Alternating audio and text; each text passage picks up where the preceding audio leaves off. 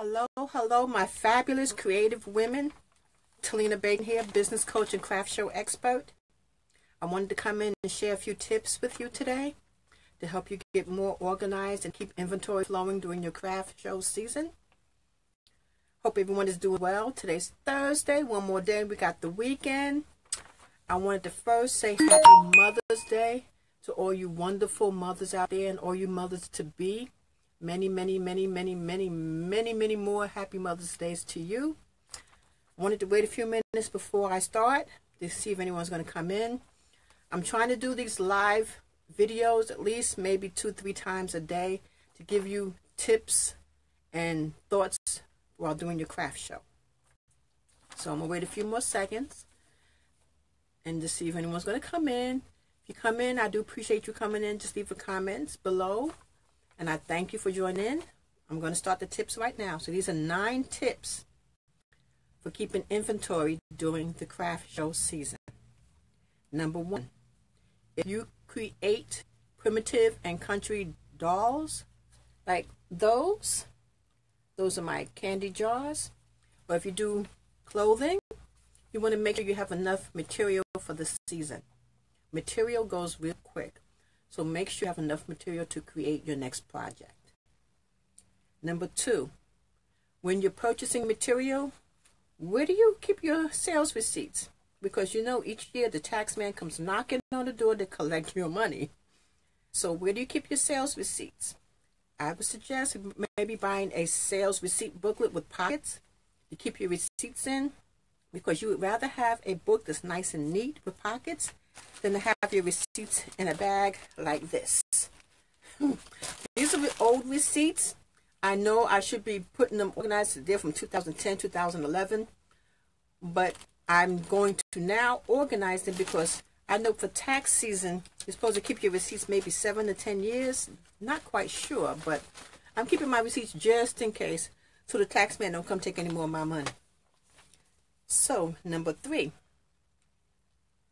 if you're paint, if you're an artist and you use paint, check your paint, make sure that it's still in good condition, make sure it's not it hasn't hardened, where you have to throw it out and buy more. So make sure you have to paint if you're an artist, if you paint. I paint myself. So I noticed that if I don't check my paints, they do harden up and have to throw them out. Then go to the store and buy more. So make sure your paints are, you know, fresh. And if you need to re-up on it and get more, get it now while they're on sale. Number four, muslin. Ladies, if you create anything you don't know what muslin is, let me show you. It's a type of material that looks like this. Usually at Joann's, um, you get it for $1.99, but if you have a coupon, it's 50% off. It's a dollar yard. We use this a lot, and I use the muslin to create my bunnies.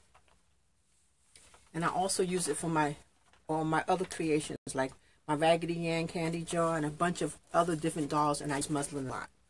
So check Joann's, check your email for any coupons that you might come along to get plenty of muslin because that does go quick when we're creating new crafts.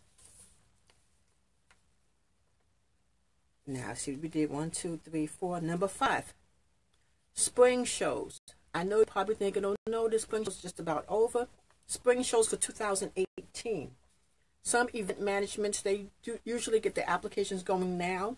So it's best to check to see if they have the applications for 2018 so you can get a head start to find out the fees, um, you know, what, what are their rules and regulations. It's good to find out now about 2018. You can check on eventlister.com for any upcoming shows, and that will get you on the ball for 2018. Number six, if you wood, like you men, if you cut like furniture, and if you can clocks or if you use wood for anything, you can always check for Home Depot or the lumber yard. Sometimes Home Depot has wood in the bag that they're getting rid of. You can always go, go back them and ask them if they, you know, if they're not using the wood, can I have it? You know, they'll be more than happy to give it to you or they may charge you a small fee. Now it's time to, to stock up on any wood pieces that you wouldn't need because sometimes you, if you need a certain type of wood, they may not have it. So start checking Home Depot, the lumber yard, any place that sells wood. Um, Even Lowe's. Lowe's might have wood too, so they have Lowe's in the back. I like Home Depot because they're a little bit cheaper than Lowe's. Sometimes they have a sale. Number seven, candle makers. All you candle makers out there, the holiday season will be coming up. Make sure you got plenty of candle wax, candlesticks, the wicks, everything that you need to make your candles. Um, I know sometimes they have candle wax at Michael's or AC Moore. Depends if you use that type of candle wax. You can also get your candle wax online at bittercreek.com.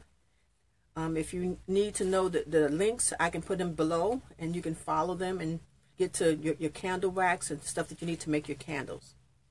I know I need to get some because I make cinnamon bun candles for the fall. So I know I have to get more candle wax. Number eight, the candle scents. That's the candle scent that goes inside the candle to make it smell good. Make sure you got plenty of that. Cinnamon bun, orange grove, any scent that you use to make your candle, make sure you got plenty of it because I know sometimes that's hard to find. So you have plenty of candle scents. Number nine, last one. Your Christmas material. They always have Christmas in July at Joann's. Get your Christmas material now because come November or when you get ready to start doing your shows, you may run out of that material. So I would suggest get it now when you do the Christmas in July Keep on the lookout for it when they start having the sale. Get your coupons and make sure you get your Christmas material right now for the fall season and Christmas season. Well, that's your nine tips. I'm going to go over them real quick for you. Number one, if you need any material, check your in your totes. I keep my material in a big gigantic tote. Check your material, make sure you have enough material to start your next project.